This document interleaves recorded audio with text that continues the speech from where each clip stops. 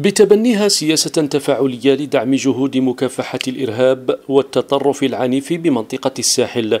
تثبت الجزائر مرة أخرى مدى حرصها على جعل المنطقة أكثر أمانا وأمنا.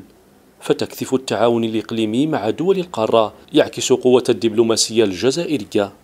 هو لقاء يجسد مرة أخرى قوة الدبلوماسية الجزائرية وقوة الدبلوماسية البرلمانية التي تحاول أن تسير هذه الدبلوماسية اللي يقودها السيد رئيس الجمهورية من خلال هذا الموضوع نتاع مساهمة المجتمع المدني والأهالي في مكافحة التطرف والعنف. أكيد أن الجزائر عندها باع طويل وهي الآن بصدد يعني تصدير تجربتها في مكافحة الإرهاب والتطرف العنيف. وبفضل خبرتها الطويلة في مكافحة الإرهاب أصبحت الجزائر مرجعا يقتدى به لعديد الدول التي تكافح لاجتثاث هذه الظاهرة خصوصا بمنطقة الساحل الإفريقي l'Algérie est un exemple, un exemple de lutte pour son indépendance et un exemple de lutte contre le terrorisme. Donc le fait d'être ici en Algérie, ce n'est pas un hasard.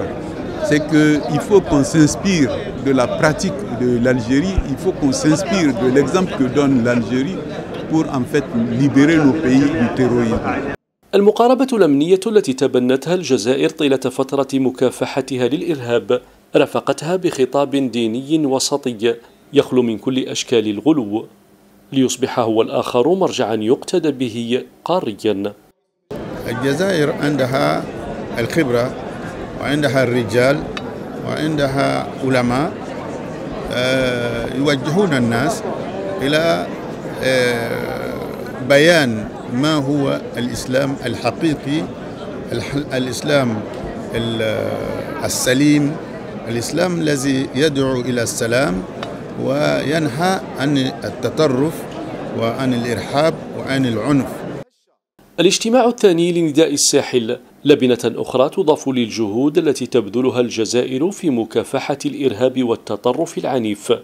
جهود تلقى الإشادة والتقدير من قادة أفارقة وبرلمانيين ورجال دين وممثلين عن الأمم المتحدة.